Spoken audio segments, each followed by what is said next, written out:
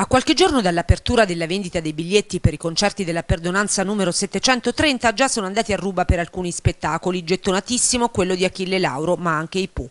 Particolari problemi non si stanno registrando nell'acquisto. Tutto è pronto per questa edizione che partirà il 23 con la serata inaugurale, per la quale l'ingresso sarà libero. L'avvio della Perdonanza avverrà con l'accensione del braciere sul palco del Teatro del Perdono a Colle Maggio, da parte del sindaco dell'Aquila. Alla cerimonia di accensione seguirà l'evento di apertura, un canto per la rinascita nascita sarà presentato dalla conduttrice televisiva Lorena Bianchetti e vedrà il contributo di tanti artisti, The Colors, Malika Iane, Colapesce di Martino, Tiro Mancino, il tenore Gianluca Terranova e il grande ritorno di Renato Zero, accompagnati dall'Orchestra Sinfonica del Conservatorio Casella. Per le persone con disabilità ci sono una serie di accortezze, sia per i parcheggi che per l'acquisto dei biglietti a un euro, sia per loro che per gli accompagnatori. Per tutti gli altri eventi previsti presso il Teatro del Perdono, Piazza Duomo e la scalinata di San Bernardino, il il prezzo dei biglietti varia da un massimo di 40 euro a un minimo di 10 euro. La piattaforma per acquistare è Ciao Tickets. Ci sono ancora alcuni posti per alcuni concerti. Tutti gli spettacoli sono organizzati con posti a sedere con la specifica di settore, fila e posto numerato, eccezion fatta per il concerto del 26 agosto in Piazza Duomo, fruibile con posti in piedi.